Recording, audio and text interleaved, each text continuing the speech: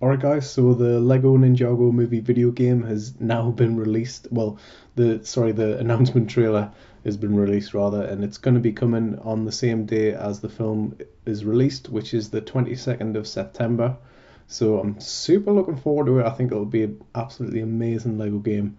Really, really can't wait for it because you know it's always been on mobile and stuff like that and PS Vita 3DS. So this is its first like branch onto new gen consoles and stuff like that. So I think it's going to be really good.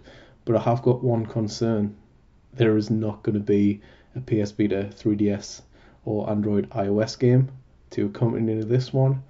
So I think the writing's on the wall. There isn't going to be any more PS Vita 3DS games for Lego. I, I just don't see it happening. These are two major releases that are coming out now. So we've got this one and Lego Marvel Super Heroes 2.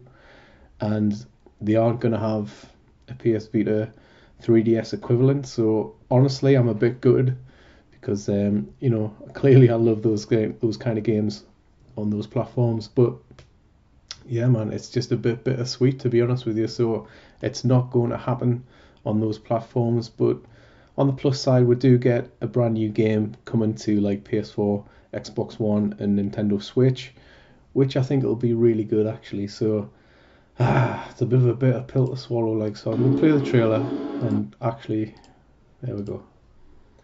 So it does look really nice and colourful and super fun, you know what I mean? But uh, it's not gonna be on the PS Vita. It's not gonna be on the 3DS and you know Android, iOS, or anything like that. But at least we get to play it on our consoles, and of course I'm gonna be doing tons of videos on this game because it looks awesome. Can't wait to share it with you. And yeah, so there you go. Does look really good though.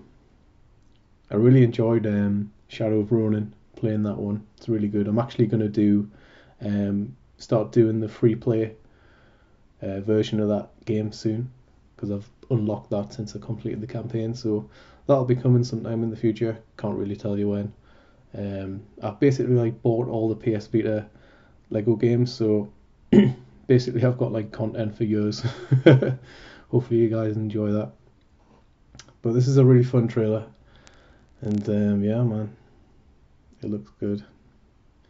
But there you go. It doesn't look like it's going to be on PS Vita, so a bit disappointing. Let's have a look here. Check this out.